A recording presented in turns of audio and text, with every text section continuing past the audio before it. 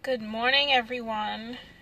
Um, hope you are not as gloomy as this day is today.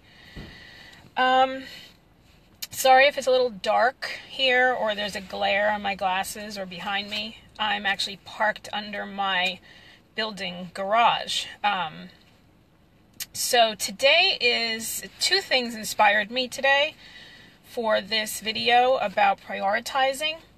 Uh, one thing is this I'm doing my video this morning because my son has a concert tonight.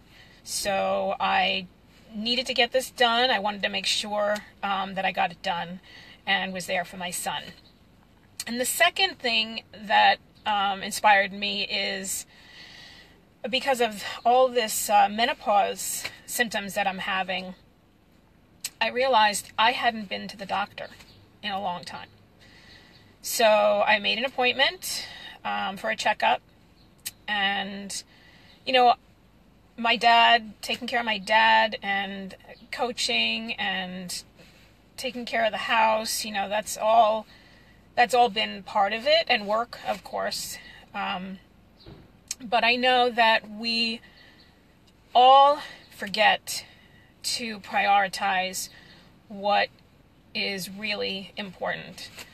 And, you know, I know you're scrolling Facebook for at least 30 minutes a day because my son and the kids tell me that that's the old people's social media.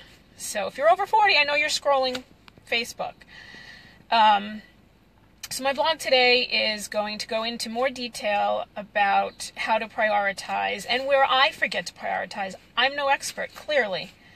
So that's uh, my thought today that's the topic today, and I hope you guys have a great day, and I'll be talking to you.